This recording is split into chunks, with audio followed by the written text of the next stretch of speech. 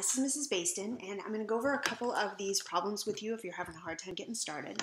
So remember when we're looking at these, you can go from atoms or molecules to moles to grams. Okay, now you're not going to need all three of those every single time, but that shows you the pathway so you can kind of figure out where you're going. So when you see one of these, you're always going to start with a number that's given in the problem. So I'm starting with 2.4 grams of Li, and I want to end up in atoms. So if I look on my little pathway up here, that tells me I'm going to need two steps. So I'm going to have to go from grams to moles first, then from moles to atoms. So when you're looking at this setup, whatever unit is here is going to go on the bottom of the next bracket. Then, depending on what that unit is, that tells you where to get the number from. So for this one, if this is grams, that number has to come from the periodic table. So I need 6.94 grams of lithium, and grams from the periodic table is always on the other side of one mole. Okay, so now I'm only in mole, so I need one more step here.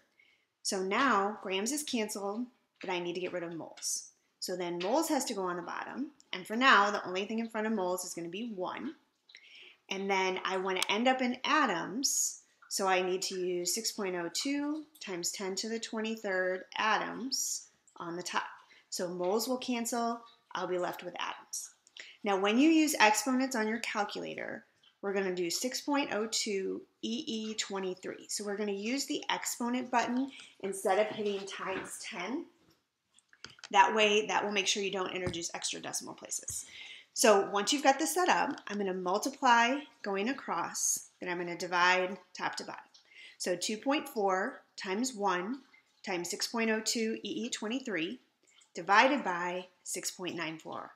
So if you do all the math right and use the calculator right, you should get 2.1 times 10 to the 23rd atoms of Li.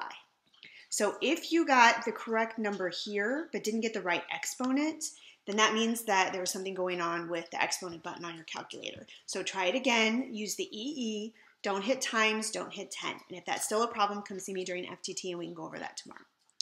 Okay, the next one.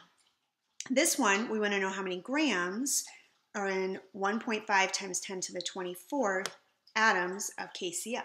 So now we're going in the opposite direction. We're starting with atoms, we have to go to moles, then we can go to grams. So I'm still going to start with the number that's given in the problem. So you always start with that number because then that tells you where to go next. So 1.5 times 10 to the 24th atoms. And then I need atoms to cancel out. So atoms has to go on the bottom. And the only number that can go on the other side of atoms is 6.02 times 10 to the 23rd. That's equal to 1 mole.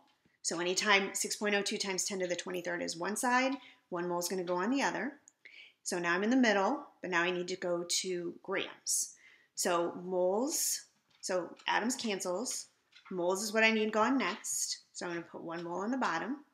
I need to end up in grams. So the number that goes in front of grams is 74.55. So that's the molar mass. So to get that, we're doing what we did yesterday, where you add up 1K and 1Cl. So then again, 1.5 times 10 to the 24th, or 1.5 EE24, times 1 times 74.55, divided by 6.02 times 10 to the 23rd. Again, 6.02 EE23. So if you do that right, you should get something close to 186 grams of KCl. So know that your numbers may not match mine exactly, but as long as we round to the same place and our exponents are the same, then you're in good shape. All right, last one, then you can try the last two on your own how many grams are in 3.7 moles of sodium. So this time I'm starting in moles, but I only have to go to grams. So this one is only going to be a one step. Again, starting with what they give me in the problem, writing all the units down because the unit tells me what to do next. So if moles is here, I want moles to go away, goes on the bottom. The only number in front of moles when it says a conversion is 1. And I need to go to grams. So grams needs to end up on the top.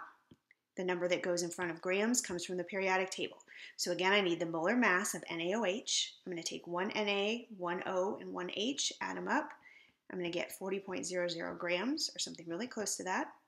Then I'm going to take 3.7 times 40 divided by 1. That should give me 148 grams of NaOH.